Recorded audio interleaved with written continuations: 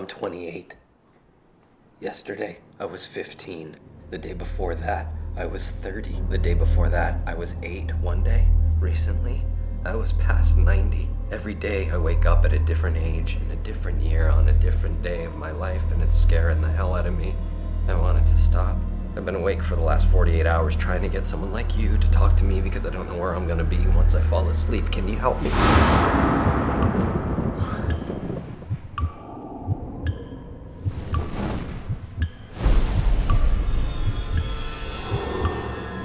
Did you come see me about two years ago? For me, it was yesterday.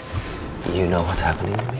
Mm-hmm. And you're saying what's happening to me is a present. Someone's in trouble, and you're the only one who can save them. Who am I supposed to save? Just pay attention. Just pay attention. It's time to pay attention to everything.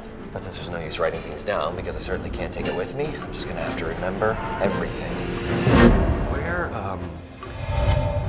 My wife? You have always taken care of me, and I promise I will always be there to take care of you.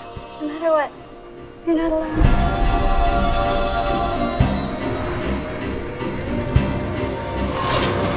Emmy, pay attention. This is never gonna stop. 26 years. Doesn't seem possible. It seems like just yesterday he was eight. Actually, that was two days ago.